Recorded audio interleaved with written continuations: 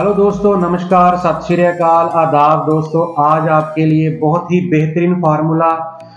जैसे बुज़ुर्ग लोग कहते हैं कि उनके घुटनों में दर्द है, घुटनों की ग्रीस खत्म हो गई है, कमर में दर्द है, डिस्क में गैप आया है, डिस्क प्रॉब्लम हो गई है जोड़ जोड़ दुखता है, हड्डियाँ कमज़ोर हैं, कैल्शियम की कमी हो गई है, और उनका चलना फिरना मुश्किल हो गया है तो ऐसे बुज़ुर्गों के लिए एक नायाब तोहफा समझो।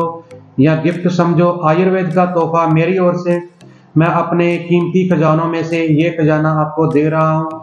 बहुत ही बेहतरीन फार्मूला है, बहुत अच्छे रिज़ल्ट हैं। तो दोस्तों, नुस्खा नोट कीजिए।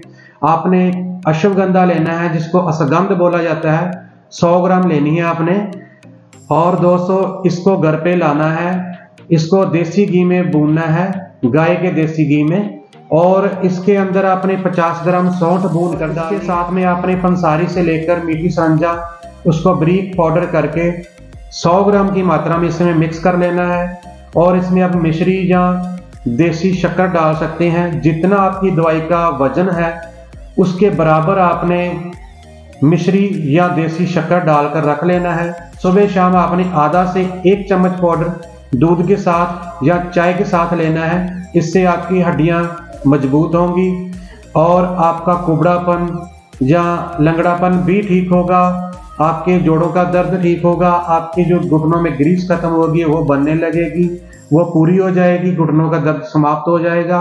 अगर आपको पुराना कमर दर्द है, आपको डिस्क की प्रॉब्लम है, आप फिजियोथेरेपिस्ट के पास जा जा के थक चुके हैं, हार चुके हैं, सर्वाइकल स्पॉन्डलाइटिस की प्रॉब्लम है उसको भी ये ठीक करेगा, आपके वात रोगों को ये नष्ट करेगा, कैल्शियम की कमियाँ पूरी करेगा, हड्डियों में ताकत भरेगा जोड़ों में ताकत भरेगा आपके पट्टों को मज़बूत करेगा।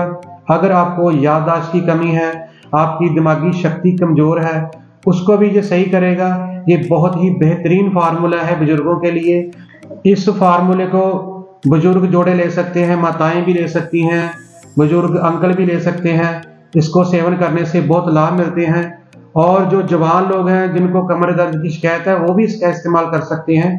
तो दोस्तों, इसका इस्तेमाल करें खट्टी तली चीज़ों का परहेज करें, मैदे की चीज़ें, बाईबादी चीज़ें आप परहेज करें, और चाय का आप कम सेवन करें, और दूध का इस्तेमाल करें। आपके पेट में कब्ज रहती है तो मेरे कब्ज वाले फार्मूले आप देखें।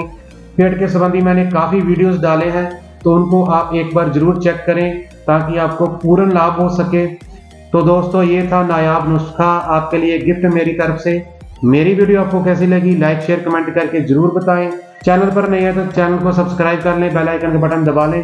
तो मिलते हैं किसी और वीडियो में। Thank you